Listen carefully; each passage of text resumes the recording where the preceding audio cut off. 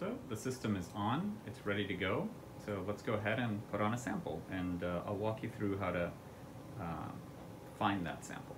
Okay, so one of the first things you need to do is check whether the sample holder, which is this thing, is properly in position. So whenever you're trying to check that, it's a good idea to switch to the 10x objective because the 10x objective is short, um, so it, it sits farther away from this part of the, the sample holder. Um, and it is also not as expensive. So if there are some, if, if, if, you accidentally bump something, the damage will be much less than if you bump one of our more expensive objectives. Now you don't want to bump anything, but this is just a safety measure in case something happens.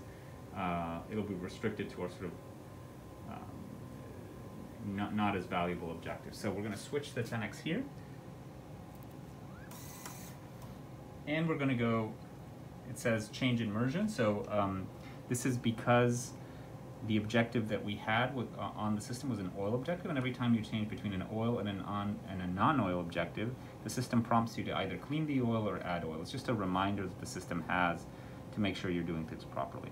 So the, the objective did not have enough any oil, so um, I'm going to say done. And then I'm going to press load position. What load position does is it drops the objective as far as it can. So it moves the objective down uh, which is exactly what I want. I don't want it close to this, okay? Um, so what things do we need to keep, uh, keep in mind before we put on our sample? So the first thing is we want to make sure that if our sample uh, is a dish or some sort of slide, that we have this sample holder in place as opposed to this sample holder, which is for plates. Uh, plates are quite complicated to use on a confocal for various reasons uh, that I'm not going to go into now. If you need to use plates, um, please contact the MSL staff. Uh, there's a number of things you have to keep in mind when using plates on a confocal. In any case, the right sample holder is in place. The other thing we need to check is that it's not wobbly or tilted. So we want to make sure that if we move our finger around, everything seems nice and stable. What we don't want is a situation like this where it's loose, where you can feel wobbling, nor do we want a case where this is inserted but it is at an angle, so if you press it, it goes down, okay? So we want it nice and flat so that our sample is not tilted.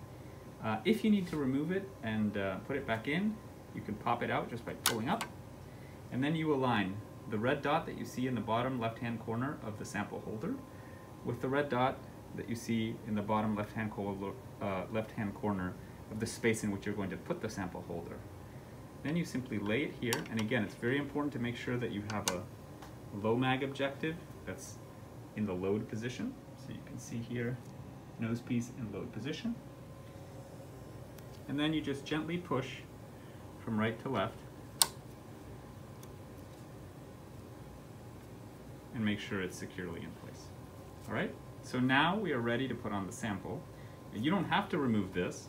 Uh, I just show you how to remove it in the case that it were loose, that's how you put it back in. But if it looks good and was, it was sort of stable, um, at the bottom, you, were, you, you would have been ready to go. So I'll grab the sample and we'll put it on. So the sample we're going to use is uh, a standard Invitrogen slide that has some, some cells on it. These cells are labeled with Alexafluor 488 phalloidin, so that labels the actin, MitoTracker red, uh, that labels the mitochondria with a red fluorophore, and DAPI. So this is an inverted microscope. The objectives are on the bottom pointing up, and so we always need to put the cover slip on the sample towards the objective, which in this means the in this case means the cover slip goes down. So that's what I'm going to do right now. I'm going to try and do this one-handed, and that worked. Okay. Uh, there we go. So you can see by moving the joystick, I've sort of centered it. Um, I've centered my objective right underneath my sample. I can move the stage with the joystick, and by pressing this button, I can toggle between fast mode, which is what it was on right now, uh, and then now I'm deflecting the joystick fully, but you can see that the movement is much less than if I return to fast mode. And again, you toggle between the modes by pressing that button. So one of the things to keep in mind is, um, depending on what you want to do, uh, whether you're doing cellular work or subcellular work, uh, you may need a higher resolution objective. If you needed a higher resolution objective, to look at subcellular details, we should have put the sample on only after having the proper objective in place and oiling that objective because our highest resolution objectives are oil objectives. Uh, what I'm going to do for, for this sort of video is start um, with lower resolution objectives just because it's going to be a little bit easier for the video and then I'll, I'll show some examples of work that you could do um, at higher resolution, what the considerations would be there. Alright, so the sample is on. So now let's talk about how uh, we can find um, the sample visually before we actually start taking images with the confocal. Sample's on the microscope. Let's lower this. And you can see in the software there are four tabs, locate, acquisition, processing, and maintain. Uh, so whenever we need to look at things by eye, we're going to use locate. Whenever we need to look at things with the confocal, we're going to use acquisition. So I'm going to go back to locate because I first want to find my sample by eye. Um, so here there are some quick access buttons, bright field, DIC, blue, green, and red. And if you press these, everything on the microscope will set itself up so, such that you can see the fluorescent that results from a blue fluorophore, a green fluorophore, a red fluorophore, or these two forms of bright field illumination. Uh, so I'm going to go ahead and do that. To be able to see anything, I need to turn off the light. And so you'll see that if I, for example, press the green um, button here, the sample will be illuminated with blue light. And if I look down the eyepieces, I'll see the green fluorescence. So I'm going to actually use the red fluorophore to find my focus. And once I have that in place, uh, I'll show you a few other tricks that are useful um, to, to, to, do that finding.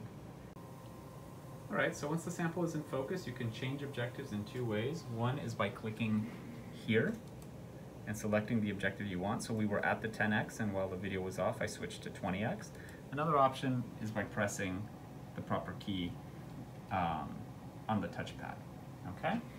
So what are the things you can do? So you don't actually want to leave the light on, as I'm doing right now in the video, because that might bleach your sample. So to turn the light off, you go to this reflected light off button and you press it, and you can see now the light is off. You might not actually see anything in the video, but just trust me, the light is off.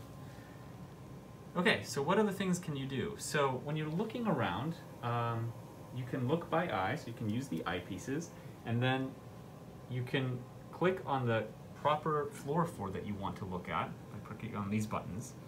Uh, then you keep looking and then you, you, you, can look back on the screen and um, click on these buttons to change the fluorophore and turn the reflected light off once you're done. Now that's cumbersome because you are on the microscope looking through here and then every time you need to do some, something you need to step, uh, move away from the microscope, grab the mouse, sort of find it in the dark, find the cursor on the screen, move it, and then click the right thing. So there's, a, there's a simpler way of doing these things by touching uh, buttons on the microscope, which I'll show you now. So to do that, I'm going to turn on the light.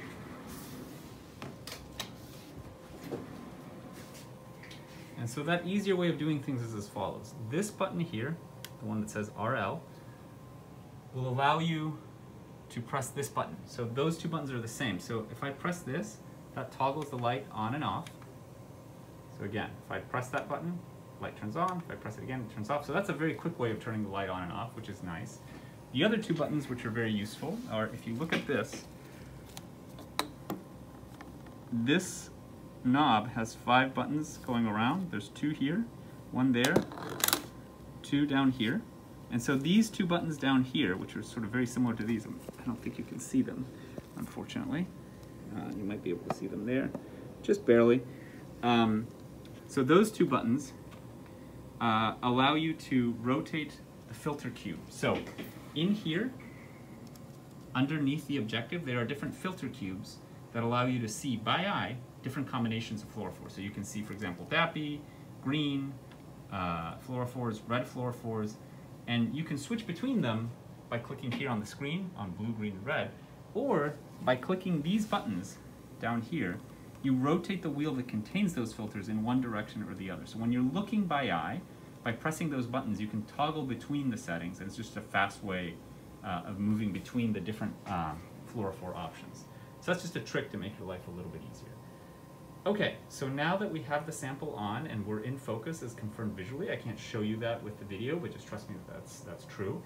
Um, we're gonna switch and I'll show you how to optimize settings for sort of cellular level work. We're using a 20x objective, which is the optimal when we wanna do cellular work. Um, so we'll talk about how to optimize that and then, and then we'll discuss how to optimize things for subcellular work, which will require an oil objective.